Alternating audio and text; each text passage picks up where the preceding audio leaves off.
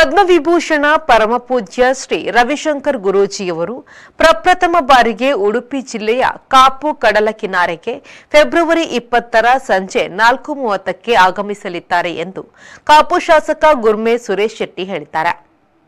ಅವರು ಕಾಪುವಿನಲ್ಲಿ ಸುದ್ದಿಗೋಷ್ಠಿ ನಡೆಸಿ ಮಾತನಾಡಿ, ಬಹಳಷ್ಟು ವರ್ಷಗಳ ಮನಸ್ಸು ರವಿಶಂಕರ್ ಗುರೂಜಿಗಳ ಸತ್ಸಂಗ ಕಾರ್ಯಕ್ರಮವನ್ನು ಉಡುಪಿ ಜಿಲ್ಲೆಯಲ್ಲಿ ನಡೆಸಬೇಕೆಂಬುದು ಗುರೂಜಿ ಅವರಲ್ಲಿ ಬಹಳಷ್ಟು ಬಾರಿ ವಿನಂತಿಸಿದ್ದೇನೆ ಕೂಡ.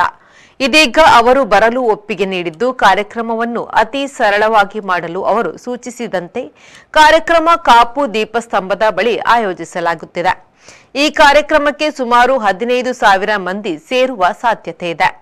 ವಾಹನ ನಿಲುಗಡೆಗೆ ವಿಶೇಷ ವ್ಯವಸ್ಥೆ ಕಲ್ಪಿಸಲಾಗಿದೆ. ಯಾವುದೇ ಸಭಾ ಕಾರ್ಯ ಇಲ್ಲದೆ ಭಜನೆ ನಡೆದು ದಿವ್ಯ ಸತ್ಸಂಗ ಆನಂದ ಲಹರಿ, ಗಾನ, ಜ್ಞಾನ ಹಾಗೂ ಧ್ಯಾನಗಳ ಸುಮಧುರ ಕಾರ್ಯಕ್ರಮ ಎರಡು ಗಂಟೆಗಳ ಕಾಲ ನಡೆಯಲಿದೆ ಎಂದರು.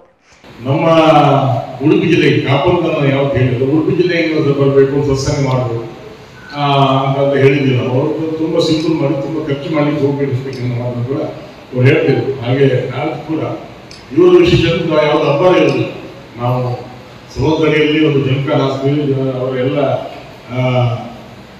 ಅವರ ಶಿಷ್ಯರು ಮತ್ತೆ ಅವರ ಅಭಿಮಾನಿಗಳು ಮತ್ತು ಭಕ್ತಗಳ ನೆಲದ ಮೇಲೆ ಕುತ್ಕೊಂಡು ಅದನ್ನ ಅವ್ರು ಮಾಡ್ತಕ್ಕಂಥ ಒಂದು ಅದ್ಭುತವಾಗಿ ಸುಮಾರು ನಾನು ಒಂದು ಎರಡು ಮೂರು ಅವರ ದೊಡ್ಡ ದೊಡ್ಡ ಕಾರ್ಯಕ್ರಮಕ್ಕೆ ಹೋಗಿದ್ದೆ ಒಂದು ಹದಿನೈದು ಸಾವಿರ ಜನ ಹೇಳ್ತಾ ಇದ್ದಾರೆ. ನನಗೆ ಒಂದು ಹತ್ತರಿಂದ ಹದಿನೆಂಟು ಸಾವಿರ ಜನ ಸೇರಿಸ್ಬೇಕು ಆಸೆ ಇದೆ.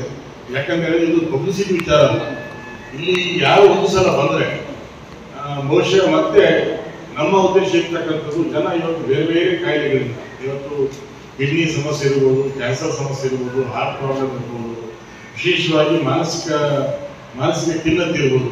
ಇದಕ್ಕೆಲ್ಲ ಒಂದು ರಾಮಬಾಣ ಅಂತ ಹೇಳಿ. ಯಾಕಂದ್ರೆ ನಾವೆಲ್ಲ ಅನ್ವಯಿಸ್ತೀವಿ ನಾವೆಲ್ಲ ತುಂಬ ಸಲ ಹೋಗಿದ್ದೀನಿ ಈಗ ಅಫ್ಕೋರ್ಸ್ ನನಗೆ ವೈಯಕ್ತಿಕವಾಗಿ ನನಗೆ ತುಂಬಾ ಸಮಯ ಸಿಗುದಿಲ್ಲ. ಸಿಕ್ಕತಕ್ಕಂಥ ಇದರಲ್ಲಿ ನಾವು ಹೋಗಿ ಸ್ವಲ್ಪ ಸ್ವಲ್ಪ ಮಾಡಿದ್ರು ಕೂಡ ಎಷ್ಟೋ ಮನಸ್ಸಿಗೆ ನೆಮ್ಮದಿ, ಆಮೇಲೆ ಒಂದು ಉಲ್ಲಾಸ ಸಿಗುವಂತ ಒಂದು ಸುರಕ್ಷತೆ ಅದನ್ನ ಪ್ರಸರಿಸಬೇಕಂತಕ್ಕಂಥ ಒಂದು ಉದ್ದೇಶ ಇಟ್ಕೊಂಡು ಒಂದು ಸಲ ಬಂದರೆ, ಕೇವಲ ನಾನು ಒಂದೊಂದು ಜಾತ್ರೆ ಆಗಬಾರ್ದು ಅದು ಮುಂದುವರಿಬೇಕು, ಜನ ಅದನ್ನು ಫಾಲೋ ಮಾಡಬೇಕು ಅನ್ನೋ ದೃಷ್ಟಿಯಲ್ಲಿ ಇಟ್ಕೊಂಡು ತುಂಬಾ ಸಿಂಪಲ್ ಆಗಿರ್ತಕ್ಕಂಥ ಕಾರ್ಯಕ್ರಮ. ಏನಾದರೂ ಒಂದು ಸಣ್ಣ ಪ್ರಸಾದ ಕೂಡ ಕೊಟ್ಟಿದ್ದು ಅಲ್ಲಿ.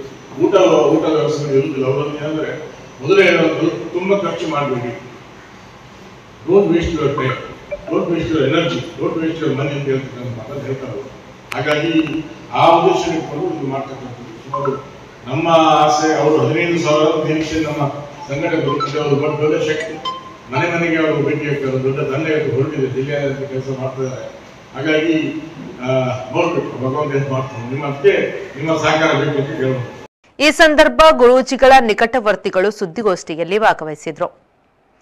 ಸುರೇಶ್ ಶರ್ಮಾಳ್, ವಿ ಫೋರ್ ನ್ಯೂಸ್ ಪಡುಪಿದ್ರಿ